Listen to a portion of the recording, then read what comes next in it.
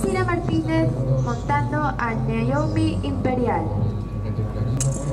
For next to go, representing Spain, Cira Martínez riding Naomi Imperial.